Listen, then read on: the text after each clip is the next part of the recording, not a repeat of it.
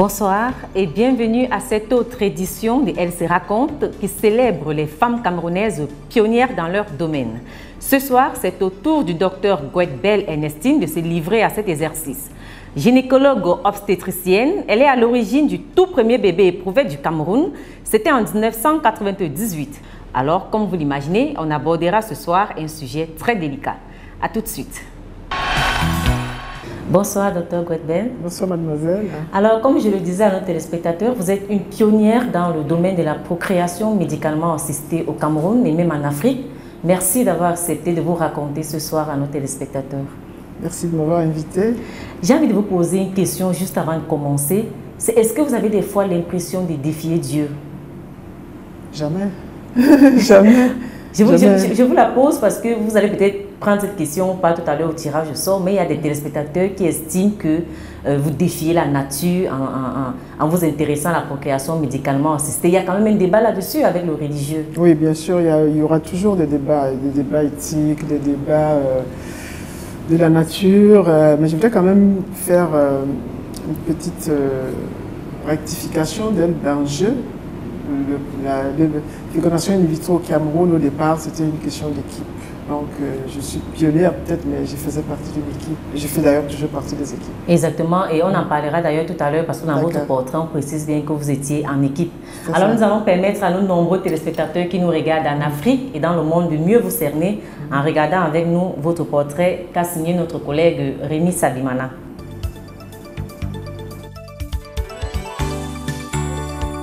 À 54 ans, Ernestine Guetbel est la fondatrice de la clinique médicale Odyssée une clinique privée spécialisée en gynécologie obstétrique et en assistance médicale à la procréation fondée en 1987. Onze ans plus tard, en 1998, c'est dans cette clinique et en compagnie de ses amis médecins qu'Ernestine Guetbel fait naître Tommy, le premier bébé éprouvette du Cameroun.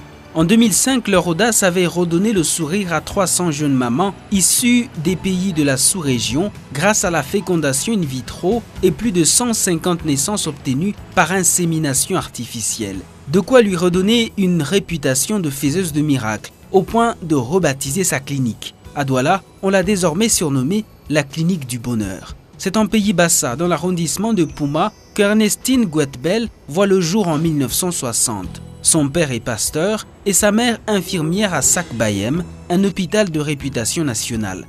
Prémonitoire peut-être, toujours est-il qu'une fois son bac D en poche, elle s'envole pour la France et obtient quelques années plus tard son diplôme de docteur en médecine à l'université de Paris 12. Puis vient le certificat de spécialité en médecine préventive à Paris 6, avant le diplôme de spécialiste en gynécologie obstétrique à Paris 5. Au début, elle travaille à Paris, puis à Douala, avant de devenir en 1993 directrice de la clinique médicale Odyssée qu'elle avait fondée avec des amis six ans plus tôt. Les prouesses accomplies par son équipe constituée de Berthe Bolo, Guy Saint-Jean, Monique Onomo, Nicolas Kung et Christian Pani lui valent une réputation mondiale qui aboutit en 2011 à son élection comme présidente du groupe interafricain d'études, de recherche et d'application sur la fertilité.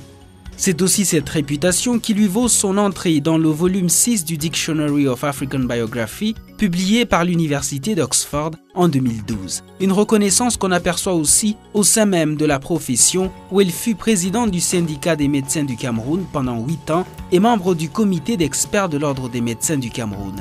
Femme de l'année et Golden Lady en 2000, 2005, 2007 et 2012, cette mère de trois enfants qui indique que 80% de son temps est consacré à la médecine est aussi très investie dans le social.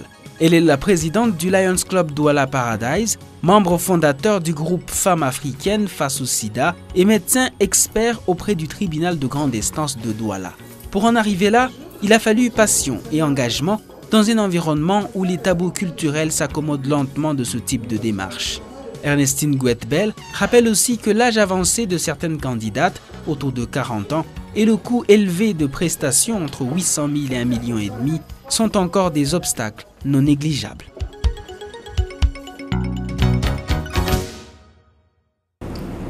Alors, docteur, premier commentaire, est-ce que ce portrait est assez fidèle à la réalité? Un peu fidèle, oui, un peu.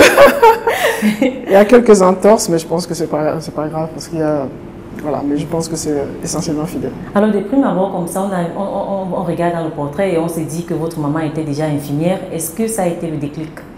Est-ce qu'elle vous a influencé dans votre choix? Oui, ça a beaucoup joué. Ça a beaucoup joué parce que euh, je pense qu'à l'âge de 8 ans, j'assiste à un premier accouchement, j'étais infirmière accoucheuse.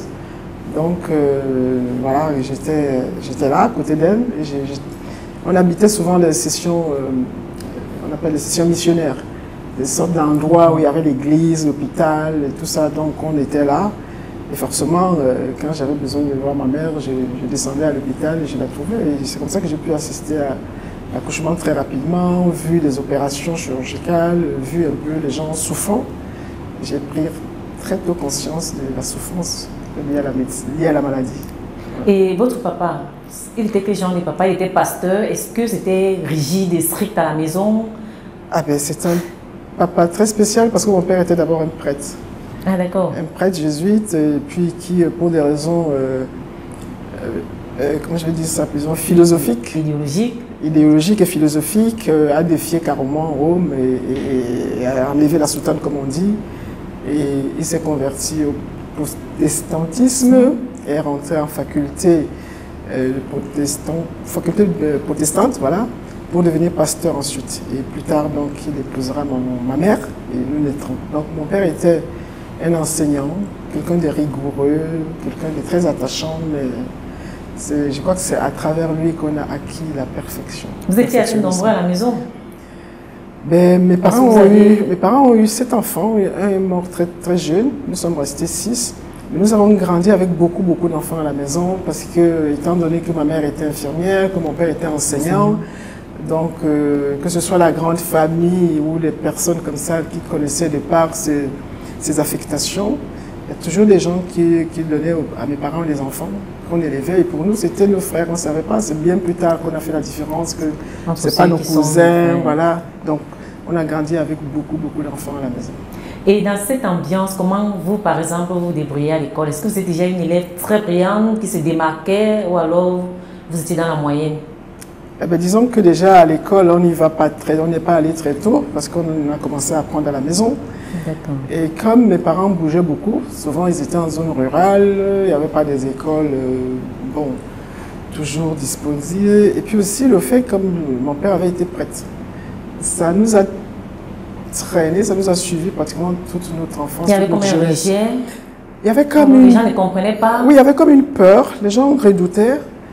Et moi, je, je rentrais souvent dans les voitures, très rarement d'ailleurs, mais quand je quittais certaines régions pour aller au collège parce que j'ai fait l'internat j'entendais les gens parler de mon père comme si c'était. Euh,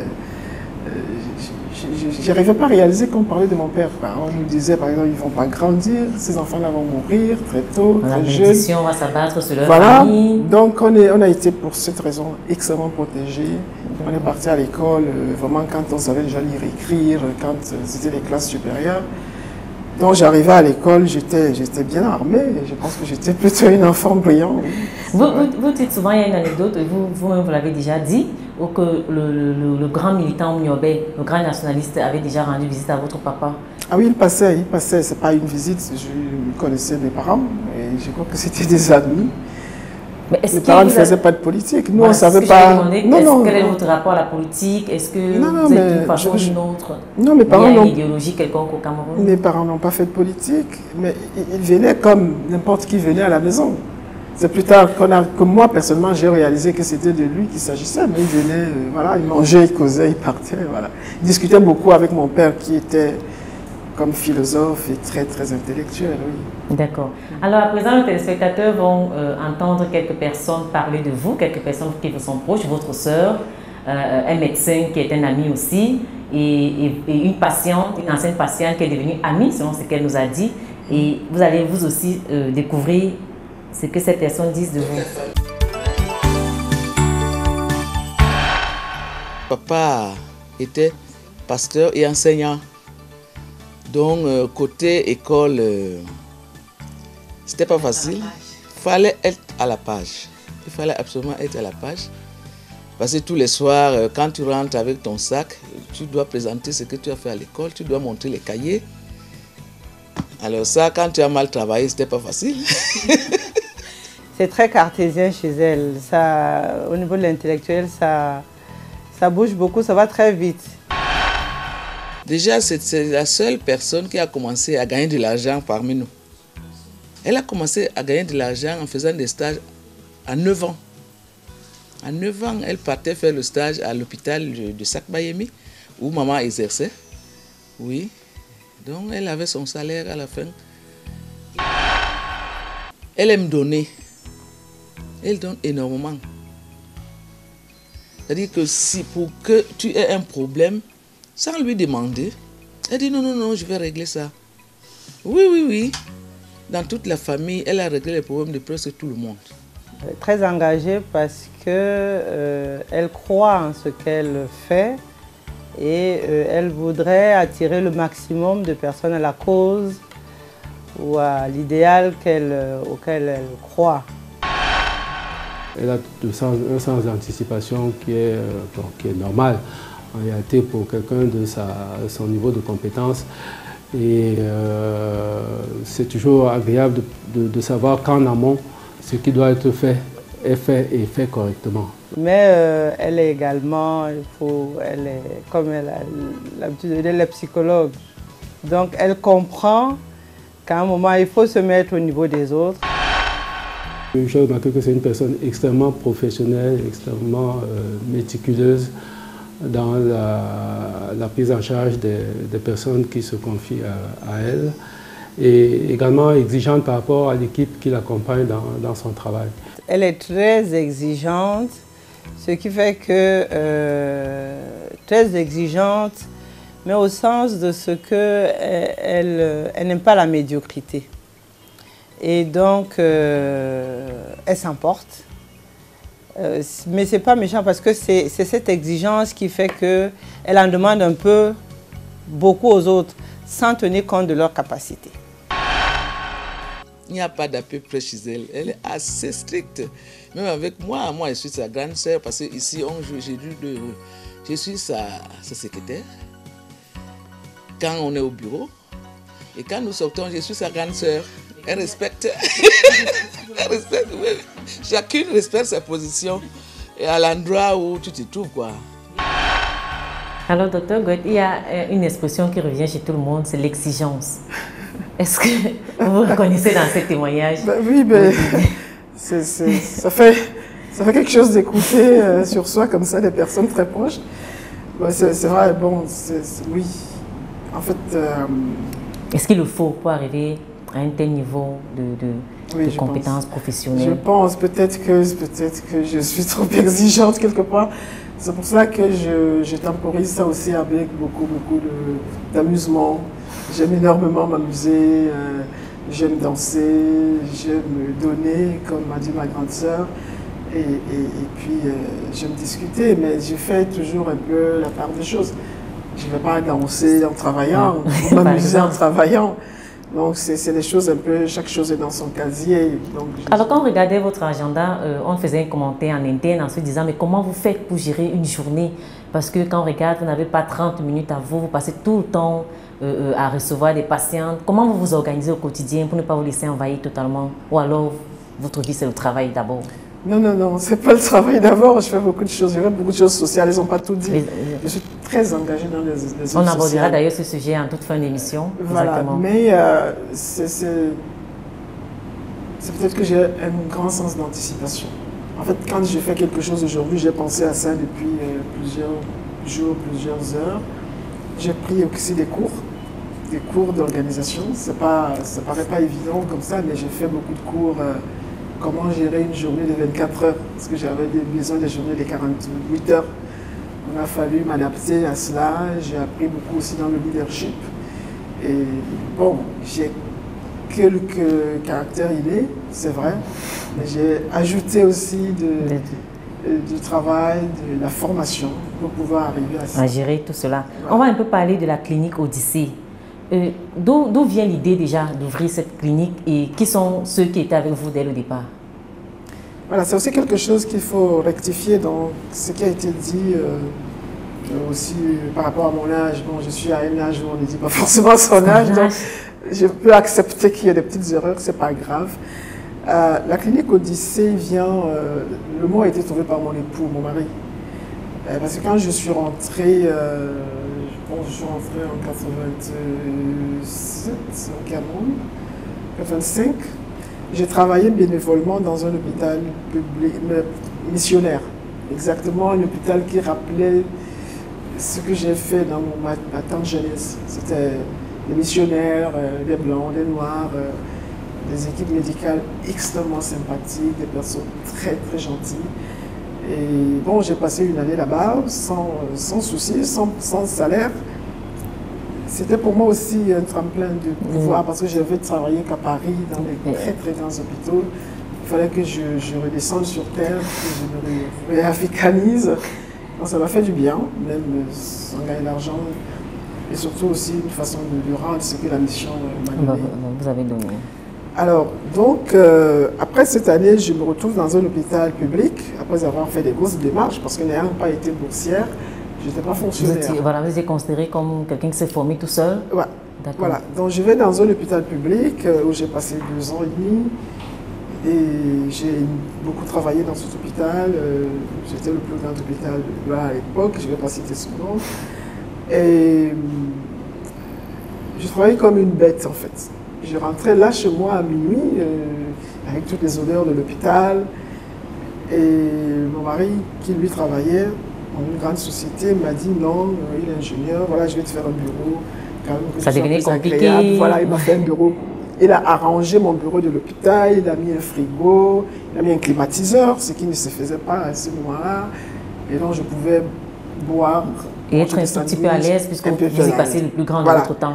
Voilà. Et toute cette attitude-là, où j'étais, j'avais quoi? Je n'avais même pas, je crois que j'avais 28 ans. Euh, j'étais jeune. Donc, euh, a fait penser aux gens que euh, si j'étais comme ça, ça veut dire que je gagne beaucoup d'argent, donc je, je prends l'argent des malades et tout cela. C'était. Et bonjour les Cuba Bonjour les Cuba, bonjour les Cuba dans, dans tous les sens. Euh, dans le sens euh, journalistique même, où certains journalistes, au début de, la presse privée, ils disaient que oui, c'est une personne qui est... J'étais pas à l'aide, donc on, on flashait sur moi. donc elle gagne beaucoup d'argent à l'hôpital. Où les confrères, ils pensaient que euh, tous les malades, les femmes, parce que j'étais c'est la première gynécologue femme, de ce niveau-là, en plus qui faisait la chirurgie, toutes les, toutes les femmes avaient tendance à venir vers moi. De manière euh, naturelle, d'ailleurs. Tout à fait naturelle. Euh, donc, il y avait une double jalousie sociale et, confraternelle. Et j'ai très, très mal vécu cela, parce que j'ai même été sali dans la presse. J'étais pratiquement une des premières médecins à qui le, nom était sali dans la presse de façon totalement injuste. Et, je pense qu'après cet épisode-là, j'ai eu un choc. Je me suis dit, bon, J'étais même pas payé, puisque pour, euh, à l'époque, pour être payé, il fallait 3-4 ans, les procédures extrêmement longues pour quelqu'un comme moi qui n'était pas fonctionnaire. J'ai tout de suite compris qu'il y avait quelque chose qui ne pouvait pas continuer, sinon euh, c'est ma vie que je payais. Et mon, ma, ma famille, qui, n'a pas, qui a pensé d'abord faire euh, pour porter un procès, donc je me suis dit non, ce n'est pas la peine de perdre voilà, du je temps, pas perdre mon temps, j'ai beaucoup d'énergie encore, il faut que je change de milieu. Et c'est comme ça que j'ai changé de milieu. J'ai dit, et j'ai commencé à aller faire des vacations dans les deux grandes cliniques de la ville. Et, les cliniques voulaient me garder. Je ne voulais pas non plus. Je me dis, qu'est-ce que je vais encore trouver là-bas comme problème? J'ai donc une idée de faire un cabinet. Et j'ai commencé à chercher comment je vais l'appeler. J'ai pas d'argent, comment je vais faire j'ai demandé un crédit à la banque, la BISEC, il ne voulait pas m'accorder un crédit. Et je me suis dit, oh, c'est une aventure. Et mon mari dit, mais tu ne vas pas appeler ton cabinet aventure. tu appelles ça Odyssée. Et voilà d'où est tout bêtement parti le nom de lycée qui a continué. Jusqu'aujourd'hui, mais dès le départ, est-ce que vous pensez que vous spécialiserez en procréation médicalement assistée ou vous pensez faire juste de la gynécologie et que tout cela est venu plus tard? Ou alors est-ce qu'au moment de créer la clinique, vous avez déjà une idée stricte et parfaite de ce que vous vouliez pour l'avenir? Mais disons que quand euh, j'ai fini ma spécialisation, j'ai fait une super spécialisation en, en fertilité. Donc je suis venu armé déjà en, technique de prise en charge de l'infertilité. Et mes, années, mes trois années à l'hôpital missionnaire et à l'hôpital public m'ont montré que les femmes avaient des gros, gros problèmes d'infertilité. Donc, je ne savais pas de façon claire que je ferais de la fécondation in vitro, mais je savais que j'allais, ça allait être au moins la moitié de, mes activités. Et Tommy, on en a beaucoup parlé dans la presse. C'est le tout premier bébé éprouvette que vous avez euh, mis au monde, si je, vous m'excusez de parler ainsi. Est-ce que vous avez de ces nouvelles? Tommy, c'est vraiment euh, l'éclatement du travail d'équipe.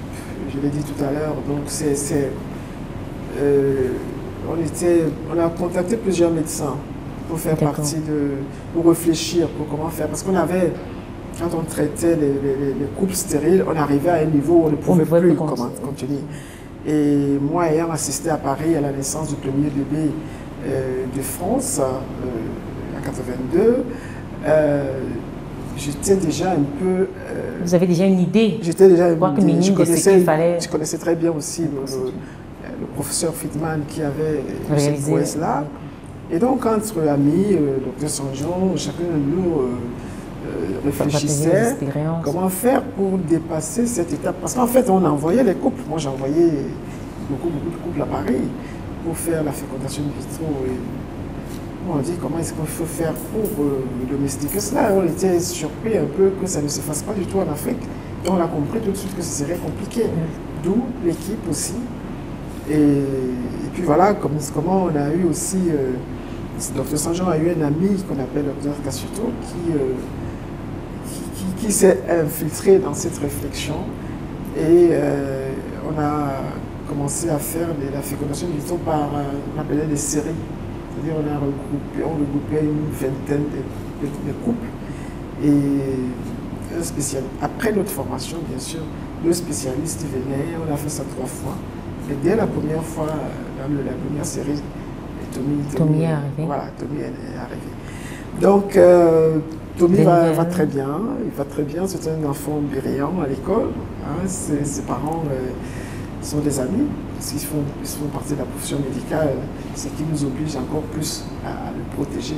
Mais c'est un enfant brillant. Est-ce que le fait qu'il fasse partie de la profession médicale, que les parents de Tommy a peut-être favorisé, ils ont été plus, plus enclins plus réceptifs? Ou alors tous les couples de l'époque c'était pareil non, ils, ont juste tombé, ils sont juste tombés au bon moment alors Mais disons qu'eux, ils n'ont pas posé des problèmes de counseling. Parce que tous les autres couples, on, avait, on passait des, des journées de counseling pour leur expliquer ce que c'était, pourquoi ils pouvaient, il fallait qu'ils acceptent. Tout le monde n'acceptait pas au départ. Certains ont été informés, ils feront leur fécondation que cinq ans plus tard. Non, mais eux, bon, ils, ils, se sont. Voilà. Ah, ah, peut-être parce qu'ils étaient déjà un couple de scientifiques et qu'ils avaient déjà une autre vision aussi. Alors, on va parler de la fécondation in vitro et, en fait, de la procréation médicalement assistée. Vous allez un peu nous dire de quoi il s'agit parce que chaque fois qu'on en parle, les gens se disent mais comment ça se passe? Alors, on a eu la chance, euh, lorsqu'on était à votre clinique, de rencontrer une dame, une Congolaise, qui a accepté de, témoigner pour nous dire pourquoi est-ce qu'elle est venue vous voir. Et juste après, on va commenter un peu les différentes techniques qui existent euh, dans ce domaine-là. Aujourd'hui, 14 ans, je souffre de la stérilité. J'avais lu dans le journal là, un gynécologue qui est à Douala elle traite très bien. Comme j'avais un problème de stérilité, c'est pour cela que je suis ici. Je la trouve très bien. Elle connaît son boulot. Pourquoi elle connaît son boulot? Puisque je suis ici depuis le 6 janvier, je suis en train de renseigner aussi dans les parages, on me dit qu'en tout cas, elle traite, malgré les sous, mais elle traite très bien. Là-bas, ça n'échoue pas.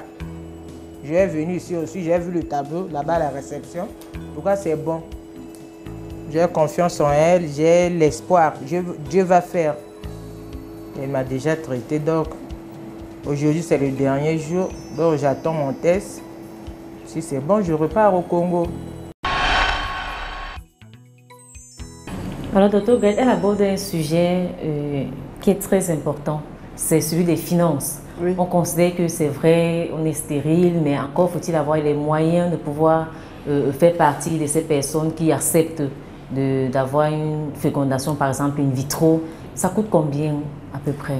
Oui, alors euh, je, voulais faire un pas en arrière.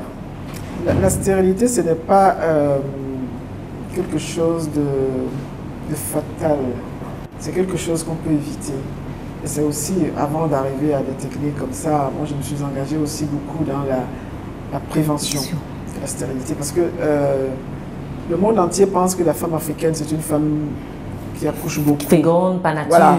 Donc, euh, toutes les subventions, tous les efforts qui sont faits à l'international sont euh, dirigés vers comment éviter les, grossesses, ok, le planning familial, la mortalité maternelle, mais il n'y a rien au niveau international qui est dirigé vers comment aider les femmes africaines, je dis bien africaines, à faire les enfants. C'est quelque chose qui m'a toujours choqué.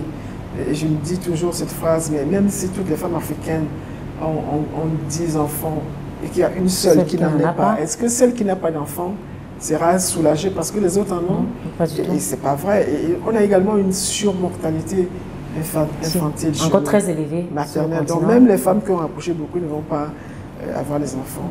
Mais quand on regarde les études, nous, au niveau GIRAF, on en a fait une, qu'on a sortie en 2010, où on montre le taux très très élevé de stérilité, d'infertilité. On dit chez la femme africaine. On a trouvé les causes de ces infertilités-là. Ce sont les infections, ce sont les avortements, ce sont les accouchements.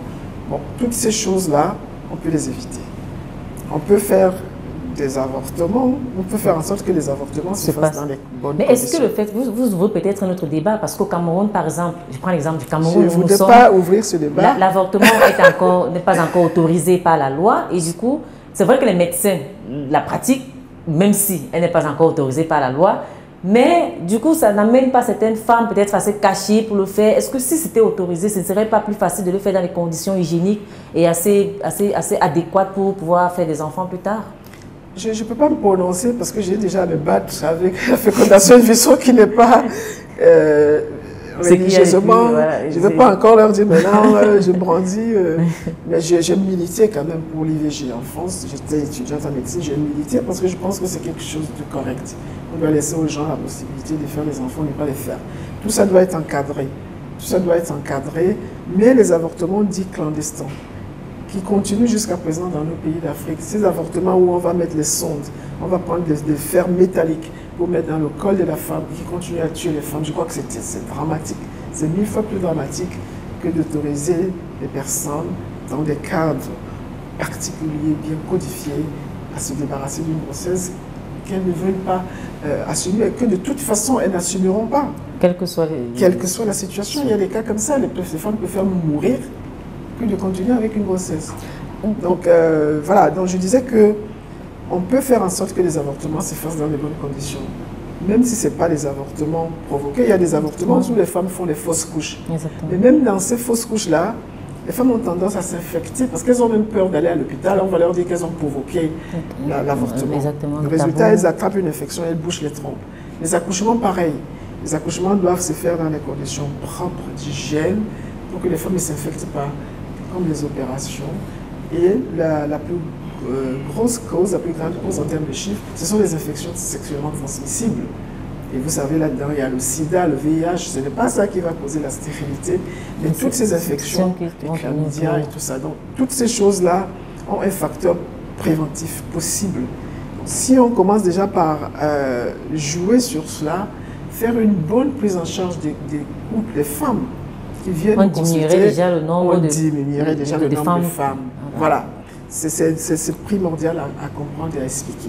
Maintenant, quand les femmes arrivent, euh, qu'on a dépassé les traitements, les infections, les chirurgies, les chirurgies endoscopiques, qu'on arrive au niveau de la fécondation in vitro, si les femmes y vont jeunes, les traitements pour les femmes jeunes coûtent beaucoup moins cher. Vous en parlez comme un obstacle justement parce que vous dites les femmes viennent généralement quand elles sont déjà en fait désespérées, elles ont perdu le temps dans les traitements qui n'ont pas marché au quartier, chez les marabouts, elles arrivent, elles sont déjà âgées. Vidées en finance.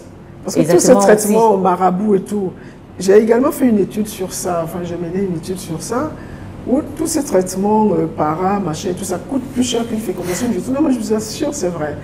Donc, euh, moi, je suis toujours un peu... Vous disiez euh, qu'un jeune couple, ça coûte moins cher qu'un vieux clair. couple? C'est automatiquement clair. Elle utilisera la moitié des médicaments. C'est clair et net.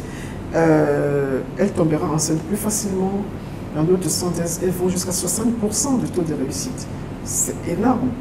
Donc, et, nous, en termes de, de, côté social, on sera tenté à, aider les couples pour lesquels on est sûr qu'on va tomber enceinte. Parce que de toute façon, il faut aussi l'avoir Exa Exactement. Donc, tout, tout, tout, tout concourt à faire en sorte que les femmes plus jeunes doivent aller vers la FIF quand, quand c'est indiqué pour elles. Voilà, vous avez dit que pour en arriver à la fécondation in vitro, c'est pas que dès qu'on vient vous voir, on vous dit il y a un problème de stérilité, j'arrive pas à concevoir, vous, vous dites directement non, ça, non, non ça passe par un ensemble d'examens de, de, déjà pour savoir à quel niveau exactement c'est déjà la stérilité. Tout à fait. Parce qu'il y en a de plusieurs types.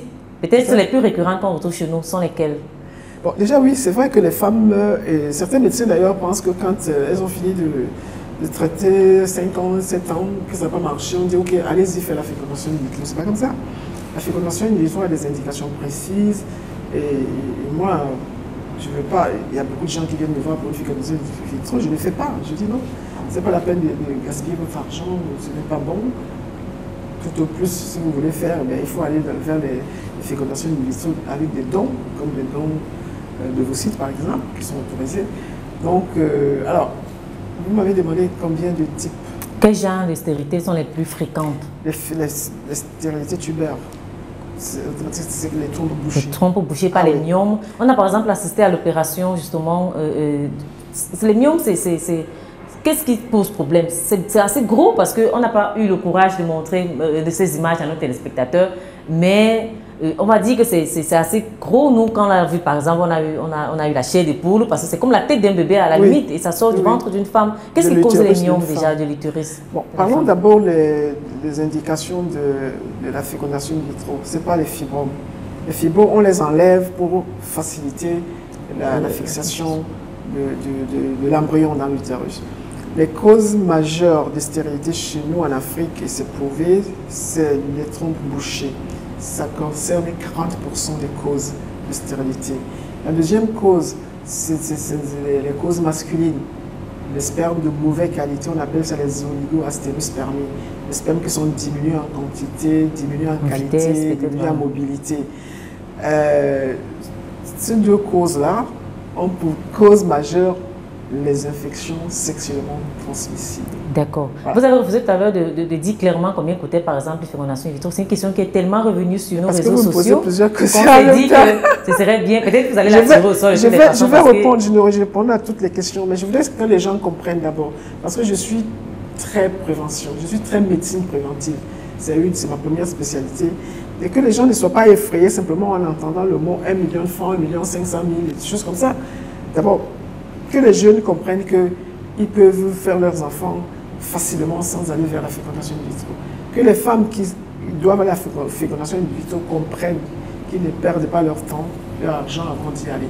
Euh, je voudrais dire, l'assistance médicale à la procréation a trois types de techniques. Exactement, on allait en venir. Le premier type, c'est ce qu'on appelle l'insémination artificielle. L'insémination artificielle concerne les femmes qui ont les trompes perméable, au moins une trompe. Mais là, c'est le sperme qui n'est pas de bonne qualité. Les spermatozoïdes n'arrivent pas à aller entrer, aller arriver à la trompe. Dans la trompe. D'accord, d'accord. Voilà, donc là, euh, on, donne des, médicaments à la femme, des comprimés, et l'ovulation, le jour de l'ovulation, on prend le sperme de son mari, son partenaire, on va travailler au laboratoire, on va choisir tous les spermatozoïdes de bonne qualité et on va les mettre dans euh, la trompe ou dans l'utérus de la femme. Ça, c'est la première euh, technique. technique. Maintenant, quand il n'y a pas du tout de spermatozoïdes, on, va maintenant à ce qu'on appelle le don de sperme. Et là, nous avons une banque de sperme qui permet de, donner les paillettes de sperme congelées à ces couples, à ce couple-là qui, en ont besoin. Le, deuxième type, euh, la deuxième technique, c'est la fécondation in vitro simple. Là, on est dans une euh, situation où euh, c'est les spermatozoïdes, euh, bon, c'est les trompes qui sont bouchées, c'est la, la, la, première cause, ou d'autres maladies qu'on appelle endométriose, ou euh, les insuffisances d'ovulation. Là, on donne des piqûres pendant à peu près deux semaines à la femme. Elle produit des, œufs dans ses ovaires et on va aspirer. On ne fait pas d'anesthésie générale pour ça, on fait de l'anesthésie locale. On les aspire, on prend les œufs de la femme, on va au laboratoire, on, les met avec les spermatozoïdes de son mari. Tout ça, il y a des techniques de préparation. Et les deux ensemble, enfin, au bout de deux jours, trois jours, jusqu'à cinq jours, on obtient les embryons microscopiques. C'est ces embryons qu'on va euh, déposer dans l'utérus de la femme. La troisième technique, c'est ce qu'on appelle l'ICSI, injection intracytoplasmique des spermatozoïdes. Là, on, est, on fait face à des spermatozoïdes qui sont de très mauvaise qualité, des spermes qui sont de très mauvaise qualité, où on peut se retrouver avec 10 spermatozoïdes. Et on prend donc, on fait la même euh, euh, préparation que tout à l'heure, on va prendre un spermatozoïde à la fois pour injecter dans chaque ovule. Alors les prix, les prix. Alors pourquoi on ne parle pas de prix fixes?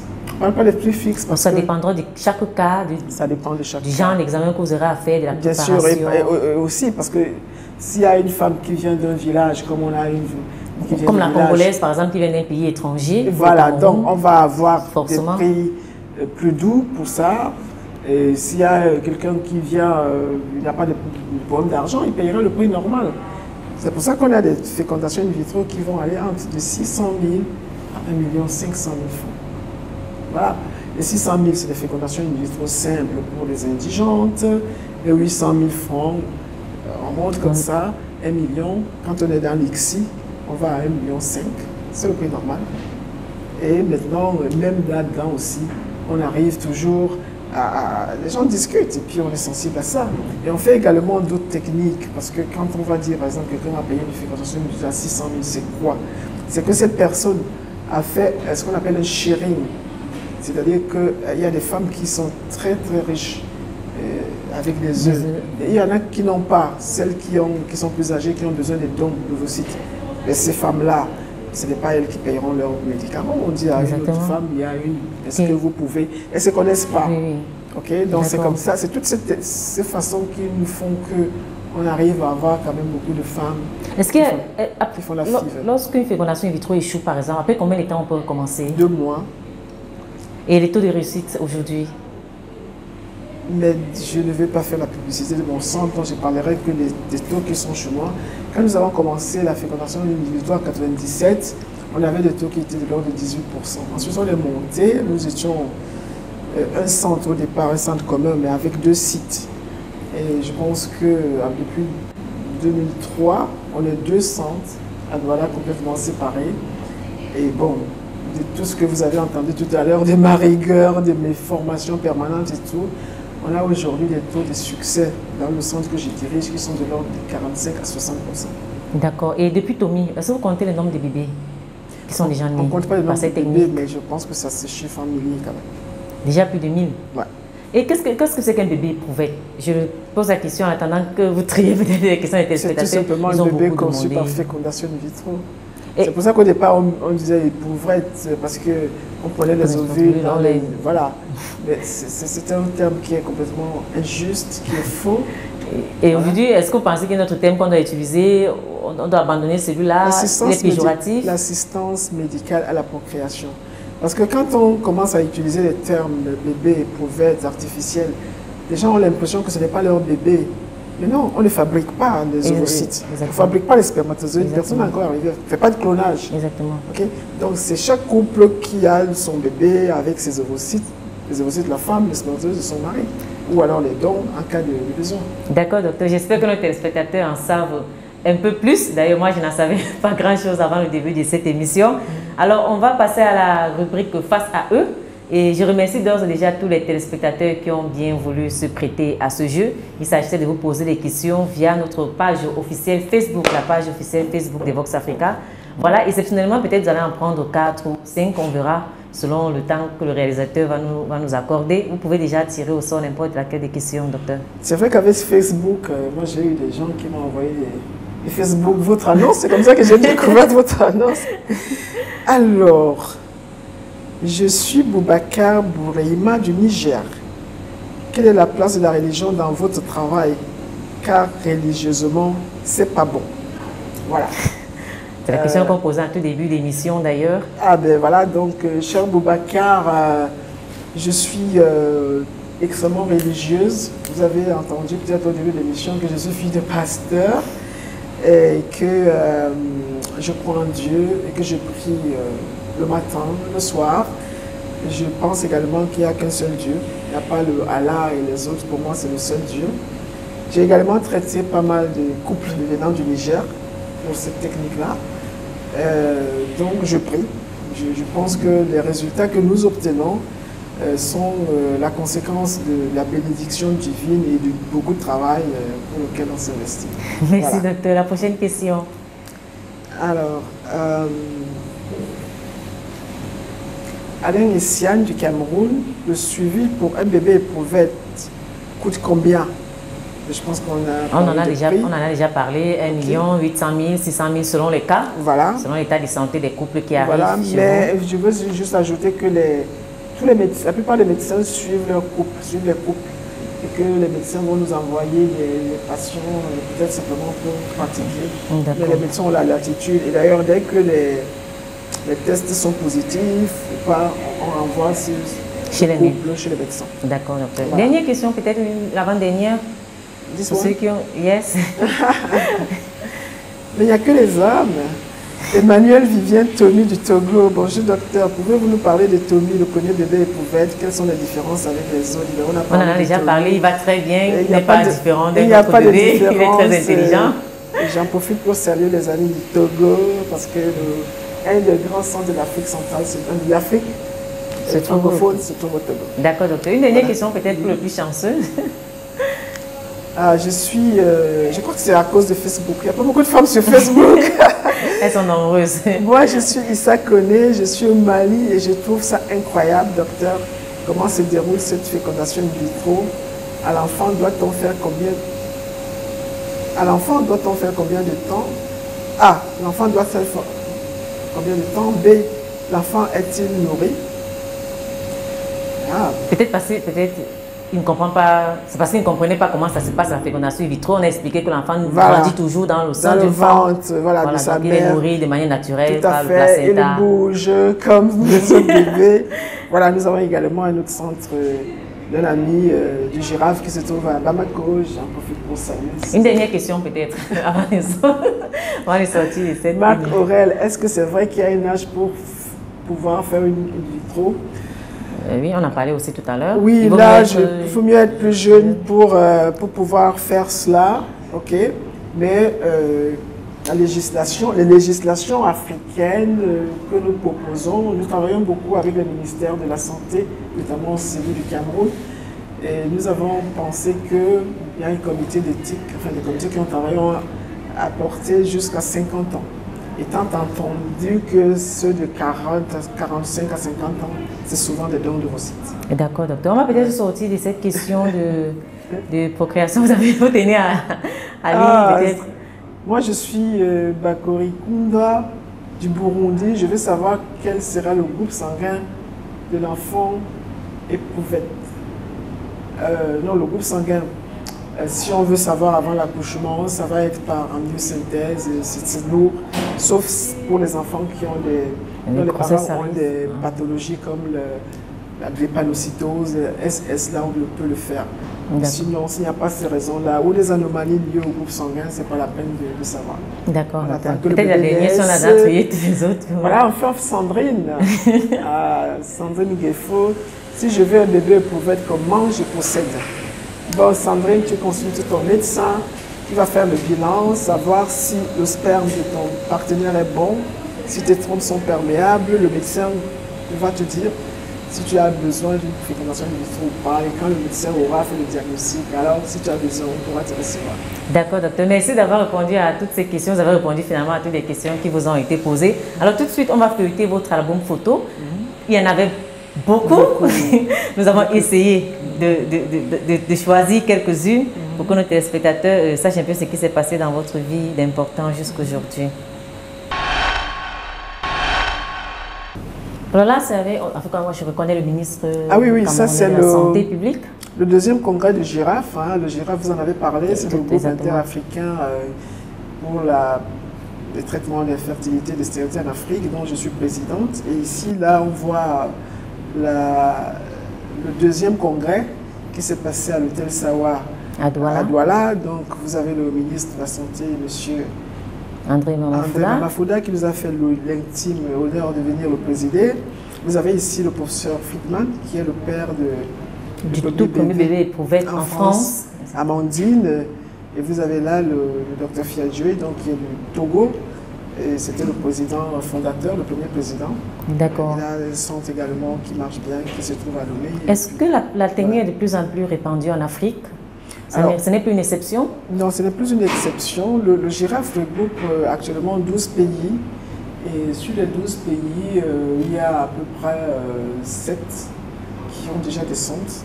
Et nous faisons la promotion vers les autres pays pour qu'ils puissent euh, avoir des centres. Le prochain congrès va se tenir à- au Congo, D'accord. à Brazzaville, et je, je m'engage à les aider aussi. euh. Voilà, là c'est c'est Une photo familiale c'est une photo très, très, très personnelle. Euh, C'est la photo de, de quatre générations. Si vous voyez, il y a ma grand-mère qui est là, à la gauche, ma mère, moi-même et ma fille aînée. Ah, d'accord. Donc, euh, j'étais donc. euh, je, je suis rentré au Cameroun pour les vacances. Je suis venu avec mes, enfants. enfants pour qu'ils connaissent ma grand-mère. Je porte son nom et j'ai sa détermination. il paraît. Donc, je pense que c'est la seule photo de ma vie où je serai en face des quatre générations. Aujourd'hui, euh, on vit pas. Ma mère est déjà partie, ma grand-mère est partie. J'ai ma fille qui a des filles, donc on a essayé de faire la même chose, on s'est arrêté à trois générations. Donc je garde précautionneusement cette photo. Alors là, c'est une mosaïque hein, des, des bébés euh, nés par assistance chez nous. Il y en a beaucoup. C'est pas tout le monde qui a sa photo là. Ouais. On a Est-ce que vous entretenez les relations avec ces familles après ou alors ça reste un travail professionnel ou après pas forcément des liens? Non, c'est forcément, très forcément très très lié parce que parce qu'on les revoit, parce que bon, on ne les voit pas toutes parce qu'il y a de, de partout, de par le monde. Mais euh, moi, j'ai surtout une relation forte avec ceux pour qui ça n'a pas marché. D'accord. j'ai- Ils sont Ça reste dans ma comme tête, ça, ça reste, défile, ça reste voilà. comme des échecs. Ça reste comme Comme des des douleurs, regrets. comme des douleurs partagées. C'est pas de, j'ai pas de regrets parce que je, je, je mets tout pour que je n'ai pas regretté. J'essaye de faire tout ce Tout que, ce que je la dois faire. permet de faire Voilà. aujourd'hui. Donc, voilà. Donc quand ça marche pas, euh, bon c'est vrai, c'est ces couples-là qui me défilent dans la tête. D'accord. Et quand j'en revois un, je, je suis toujours en train de me demander qu'est-ce qu'on peut encore faire. D'accord. Voilà, donc mais c'est c'est ça. Oui, ça c'est des bébés, voilà, c'est toujours ce bébé-là. Ici, euh, suis-je là? C'est moi ça? Ah oui, ça c'est le, le jury. C'est- quand euh, on a été élu euh, l'homme de l'année, c'est quand l'équipe de la fécondation a, a été élue, Ah, d'accord. les hommes et les femmes de Docteur l'année. Gouet, le maître. D'accord. Voilà. D'accord. Donc Ça c'est le directeur adjoint de la CRTV. Exactement. Et on Francis faisait partie donc de l'équipe. Moi-même, j'étais, j'ai pas assisté à ce, ce vote-là, mais c'est l'équipe, euh, c'est le jury de la nouvelle expression D'accord. qui a apporté ce- cette histoire des hommes de l'année. C'est. Ahmed. Tchongan, exactement. Alors là, c'est moi, mamie, moi, grand-mère. c'est ça. D'accord. c'est ma première petite fille. J'en ai deux et un petit-fils. Et ça, c'est la naissance donc de ma, de mon, la- En 2007. quand je deviens Grand-mère, grand-mère. c'est assez Ah oui, c'est émouvant. Tout ému, Ah oui, vous oui, le oui, regardez. oui, oui, oui, Mais quand vous êtes habitué à faire des bébés, quand ça vient de votre propre famille, c'est différent quand même? Non, c'est pas On ne différent. s'habitue pas. Parce que la naissance, c'est quelque chose de magique. Je crois que ça reste toujours magique. Mmh. Donc, je- vais toujours, même à la clinique, la plupart des, des accouchements, je les fais encore. Mais même si ce n'est pas moi qui fais l'accouchement, je vais, je vais toujours vous assister. D'accord. D'abord pour m'assurer que tout se passe bien. Et puis, euh, ah, ça c'est ma deuxième fille. Là, on était en, en voy- en voyage en, en Chine. Donc, c'est celle qui me ressemble le plus, il paraît. et, ça- et se voit. Et voilà, elle a aussi pris beaucoup de ma personnalité. Ça, c'est mon époux. Et mon mari avec les deux filles. Et en bas, euh, il y a mon fils là. Euh, Mais quand voilà. il y a, Je sais pas si quand il y a une photo, on, vous voit mieux- on, on le voit on mieux. le voit mieux, voilà. Et ça ici, euh, c'était une œuvre sociale hein, de mon club Paradise, où la ministre, ça c'était une œuvre sur les enfants de la rue. On travaille D'accord. beaucoup avec le, le- le ministère de la Santé, des Affaires sociales, de la femme tout ça. Donc, Ça, c'est le volet social de votre action. C'est d'ailleurs Voilà. ce volet que nous allons euh, Voilà, terminer voilà, cette voilà. émission. C'est ça, là, je suis vice-gouverneur, là. Voilà, et... Alors Voilà, ça, c'est mon fils, euh, ça, c'est au parlé. mariage de, du fils de ma grande amie, Swan Bassou. Donc, ça, c'est à Paris. Donc, euh, je suis fait accompagner par mon fils. Est-ce que c'est lui qui fait l'étude de médecine C'est lui qui est médecin, oui. C'est la succession assurée? Non. Non, parce qu'il ne fait pas la même chose que moi. Est-ce que vous y pensez quand même, docteur Gouet Oui, je vais prendre la retraite.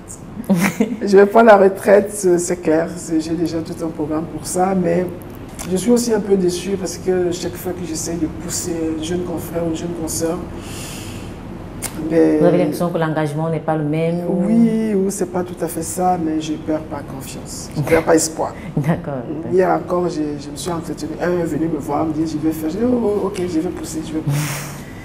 voilà, donc là, c'est le bébé, voilà, c'est c'est un bébé. Un bébé et sa maman, quelqu'un avec qui j'ai des très très fortes relations. Voilà. Je crois que c'est bon. Voilà. Alors, docteur, euh, vous nous avez présenté, par exemple, on a beaucoup entendu parler du Lions Club lorsqu'on est avec vous. Vous êtes euh, vice-gouverneur, je ne connais pas très bien les titres. Gouverneur dans deux Et- mois. Voilà, et- gouverneur dans deux mois. Et au Cameroun, vous êtes la présidente du Lions Club. Qu'est-ce que, il s'est dit beaucoup de choses autour de cette organisation. Il s'est dit que c'est une secte, je ne sais pas très bien ce qu'on met là-dedans. Mais qu'est-ce que c'est exactement? Peut-être c'est l'occasion de, de nous dire de quoi il s'agit exactement. Oui, bon, je pense que je, je- je pourrais dire beaucoup de choses, mais je n'ai jamais suffisamment de temps.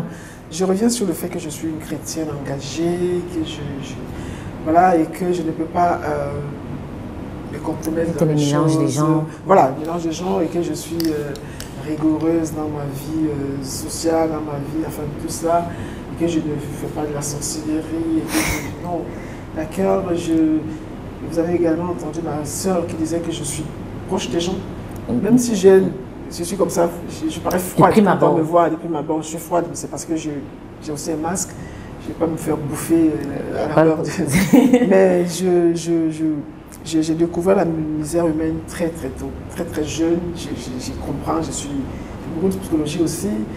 Donc c'est par rapport à, à cet aspect de moi que je me suis engagé dans les œuvres sociales. Je pouvais entrer dans plusieurs associations. D'ailleurs, à un moment, euh, mon assistante, donc euh, ma soeur, quelqu'un allait, euh, l'avait interrogée il y a peut-être 10 ans, et, elle a, la personne lui a dit citer toutes les associations laquelle elle elle en a cité, elle a en avait 20. C'était 20 associations humanitaires. Euh, et puis après, euh, je me suis rendu compte qu'il y avait beaucoup de pertes de temps dans certaines associations et je me suis engagé à, à certaines, celles qui sont scientifiques ou celles qui sont internationalement reconnues, donc le Lions Club. Le Lions Club, c'est une vieille association qui va fêter ses 100 ans, qui a été créée aux États-Unis pour aider les autres. Euh, son, son, son but, c'est quoi? C'est d'aller prendre l'argent où il y en a pour faire des œuvres sociales et au donner aux pauvres. C'est aussi clair que ça, c'est ce qui m'a séduit pour entrer dedans. Et son côté international fait que nous pouvons mobiliser des fonds. Fonds ailleurs, De très loin. Ça, ça vous ouvre plus, il y a plus d'ouverture. Voilà, parce que si ce n'est que les fonds du Cameroun, ça ne peut pas aller loin. Exactement. Elle est donc organisée euh, en club. Les clubs, c'est une association de 20 personnes et plus qui se mettent ensemble, mais qui doivent respecter les règles de fonctionnement. De Il y a beaucoup d'éthique, il y a beaucoup de morale. Et, euh, et quand il y a plusieurs clubs, on- ça devient une zone. Quand il y a une zone, une région, et plusieurs régions donnent- font un district. Et moi, je suis rentré dans cette association euh, en 99, très rapidement. Après mon- en 89, pardon. Pardon, 89, J'ai donc gra- gravi tout. les échelons. J'ai été secrétaire, trésorier, président. Et en 2007, j'ai créé un nouveau club qu'on appelle Douala Paradise. Parce que je faisais partie d'une équipe qu'on appelle l'équipe de l'accroissement des effectifs. Donc j'ai voulu montrer aux gens qu'on peut faire créer des clubs où il fait bon vivre et faire des grandes choses. Et c'était le, euh, Le départ de la naissance de Douala Paradise. voilà, Douala Paradise que j'ai présidé en six mois. Normalement, on doit présider un an. Moi, j'ai fait que six mois. Moi, je dis non, il faut passer à quelqu'un d'autre. Et donc, euh, après, je suis maintenant, j'ai fait tous les présidents de zone, président de région, vice-gouverneur, et je suis gouverneur euh, début mai, donc euh, à Abidjan. Alors, on va dire que c'est une secte, c'est pas possible. L'année prochaine, en 2015, nous allons organiser la plus grande convention au niveau africain et l'océan Indien. Et j'ai fait un dossier pour demander le haut patronage de monsieur le chef de l'État, Paul Biya. Ce haut patronage a été accepté. Je ne suis pas persuadé que monsieur Paul Biya, président de la République, va une organisation suspecte. Voilà. Alors, docteur, on est, euh, on est à la veille d'une célébration, d'une date qui a été choisie pour célébrer les femmes. Je ne sais pas s'il faut dire célébrer les femmes ou réfléchir aux problèmes que les femmes rencontrent au quotidien. Est-ce que vous pensez que le 8 mars, c'est une date qui doit exister? Elle devait exister, oui. Elle devait exister parce que euh, nous venons quand même de très loin, hein, les histoires, les problèmes de femmes. Non, mais c'est vrai, ils ne sont pas finis.